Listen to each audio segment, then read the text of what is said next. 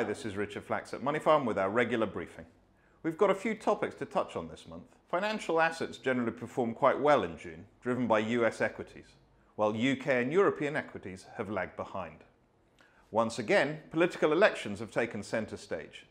We've seen a lot of uncertainty in France, with the more populist parties on both the left and the right showing a strong result. That had left European markets a bit jittery about the outlook for the government deficit in particular. The second round of voting looks to have thrown up another surprise, with the left-wing coalition emerging as the largest party, but without a majority. That might reassure investors concerned about the emergence of a far-left or far-right majority, but any coalition government will likely be a fragile one. Financial markets can look favourably on political gridlock in the short term, but ongoing political uncertainty in France probably won't help reduce the budget deficit. On the surface, the UK looked to be quite the contrast.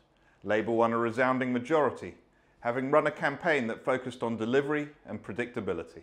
It doesn't sound that exciting, but it'll probably come as a welcome relief to British voters, and probably investors as well. For us, the question of tax increases will be a key area of attention as the new government gets to work. Beneath the surface, however, we can see some of the same tensions we've seen in Europe. The three traditional parties in England won a low proportion of total votes, Independents and new parties, notably Reform, won a significant percentage.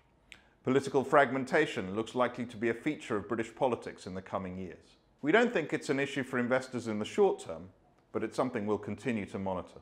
In the US, a poor performance in the presidential debate has left investors wondering whether Joe Biden can or should be the Democratic nominee against Donald Trump.